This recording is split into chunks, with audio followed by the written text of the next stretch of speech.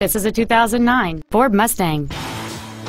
It features a 4.0-liter six-cylinder engine and an automatic transmission.